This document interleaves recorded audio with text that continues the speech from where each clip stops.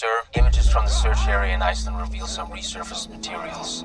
Go on. We assess an 80% probability it's the object we're looking for. Initiate phase one.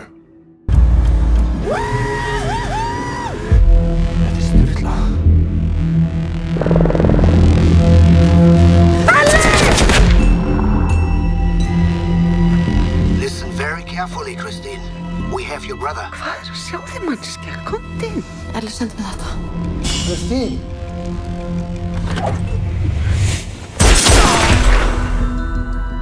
What can you tell me about a Nazi airplane crashing into Vatnajökull?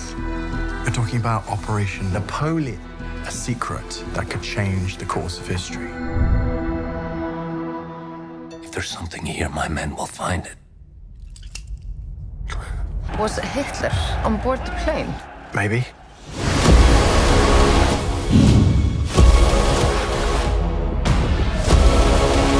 We began finding things. A group of people living in the shadows.